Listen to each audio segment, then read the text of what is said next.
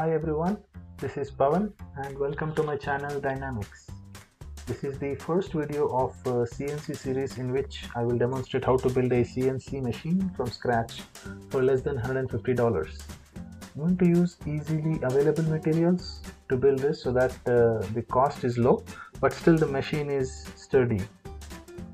I should mention that uh, I have no prior experience in any kind of carpentry or metalsmith works. So if you find any issues with the way I'm implementing this or uh, any recommendations, suggestions, I'd appreciate it if you can leave it in the comment section.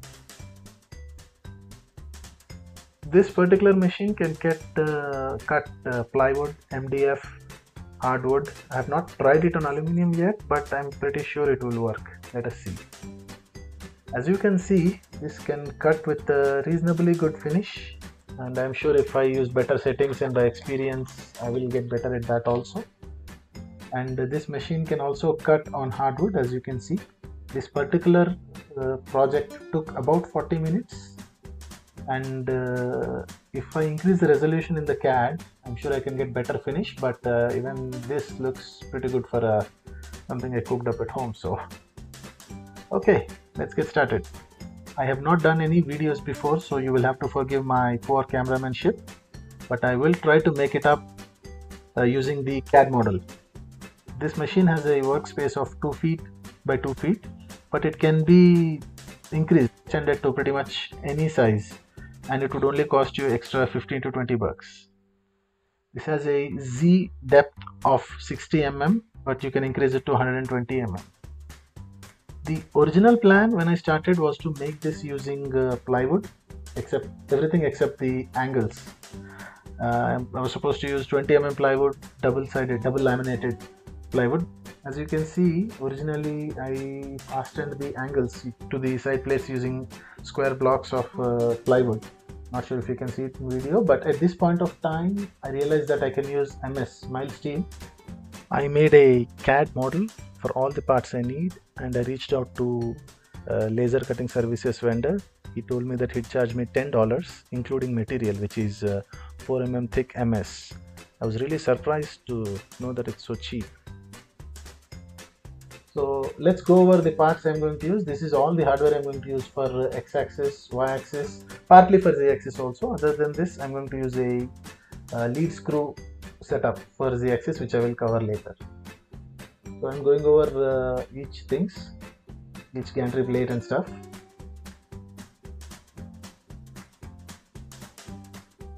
These are the belt clamps I'm going to use to fasten the angles to the side plates. Uh, this is what these are what I'm calling the angle holders. I will show you in video coming how I'm going to use it.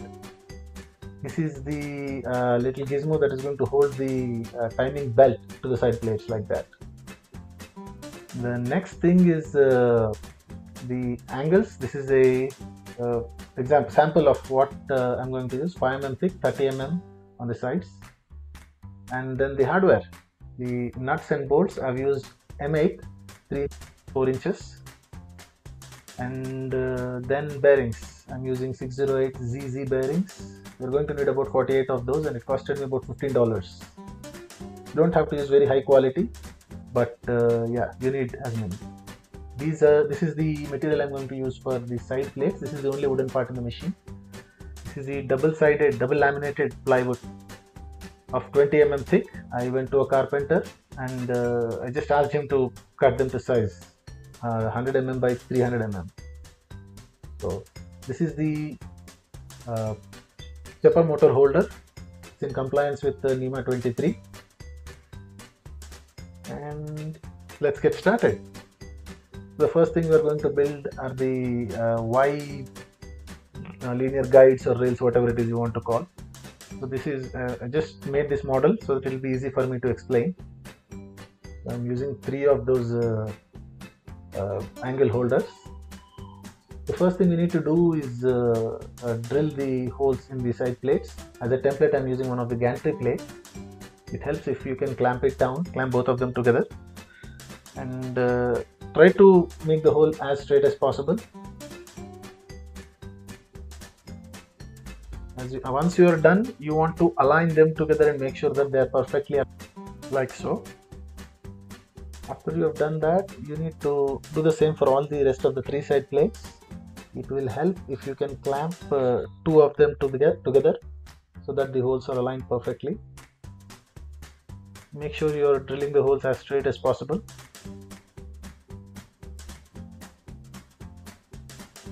there you go I have all four, four of them or all four of them drilled and I've marked the sides in which they align properly. The next step is to fasten the angle holders. Instead of going all three I used one of the nuts in the middle that will give me more space to use the belt clamp. We'll see we'll see we'll see in the next few minutes how to do that.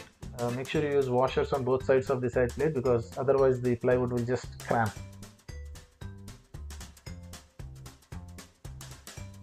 there you go. The next step is to use these belt clamps to mount the angles on top of these uh, angle holders. It will help if you can just crush them into this kind of elliptical or diagonal shape. It will be easy to uh, mount them on. You need to do four of these. You need four of these. And uh, in order to uh, okay these are the angles i'm using. They're two and two and a half feet 5 mm thick. I went to a metalsmith and asked him i gave him the sizes you need four pairs of these sizes xyz and the waste board he just he straightened it and gave it to me for about 15 dollars in it was, it was surprisingly cheap actually. So uh, in order to uh, fasten the side plates to the angles it will help if you use one of the angle holders as spacer as I am doing. You don't actually need them later but you can use them as a mechanical support later. Uh, you can you can just leave it there if you are using a very long uh, machine like the size is big. In my case it is not required because it's just two and a half feet but if you want to go for four feet five feet then you can leave them as spacers. As you can see it took some time for me to get it straight uh, but uh, the first one took time second time onwards it didn't. It took me about five six minutes to get this up and running. So once you have uh, used spacers and uh, mounted the uh, belt clamps don't tighten them too hard. You need to actually fasten them onto the angle holders on the side plates. Just loose is enough. After that you just space them apart and put the angle holder put the angles in the center and just align them and slight push should uh, just pop right it into the place. Like so. On both sides.